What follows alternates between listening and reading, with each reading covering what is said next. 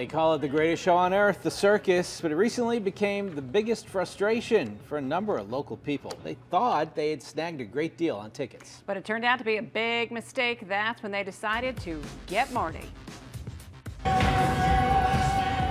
It's a night of color, music, and animals. In a three year old's eyes, it's magic. It's the greatest show on earth. This year, this almost didn't happen. She loves the animals, the elephants, the horses. It was going to be Rebecca's three year old birthday present, a night at the circus.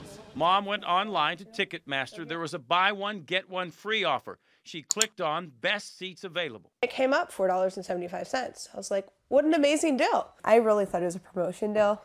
Like, I just got lucky.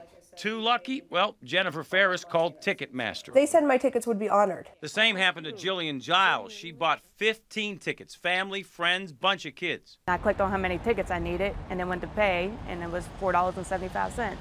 She also called Ticketmaster, wondering if the deal was too good to be true. Even when folks spoke to them, they said that 475 was the legit price. Yes, that's correct. Quite the architect. The euphoria lasted only a few days when this email arrived, but still no tickets. Dear Ringling Brothers and Barnum and Bailey fans, this is not the kind of email we'd like to send. The email laid it out saying your credit card was not charged for the regular priced buy one ticket. You were only charged a $4.75 handling fee. Ticketmaster and Ringling Brothers were being dis just dishonest. This same email went out all over town to folks who got the same deal.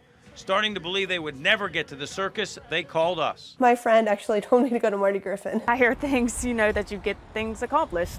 We immediately contacted Ticketmaster. The company was very helpful, gathered all of the information of the folks who did not get tickets, also provided this statement. This was a buy one, get one free promotion, and some fans were not charged correctly at the time of purchase.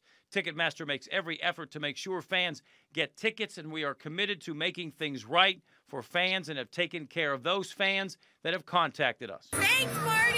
Within an hour of the Ticketmaster email, Jennifer and Rebecca Ferris were at the circus.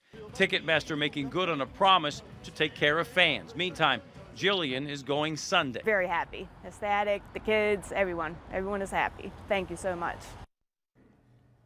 Now, Ticketmaster did not have to do this. They stepped up here. They didn't even have to honor all of the tickets. Some folks tried to buy hundreds of tickets at the $4.75 price. Ticketmaster really not convinced all those tickets were for family and friends. However, all of the folks who had legitimate claims to tickets, they will see this circus.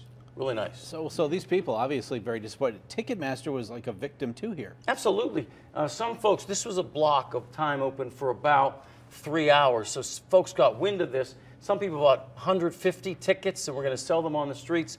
Ticketmaster, we didn't try to help those folks. We helped the folks with legitimate complaints, and quite frankly, Ticketmaster stepped up. They're going to the circus. Going Okay, to the circus. good to see. Very Thanks, cool. Marty. All right.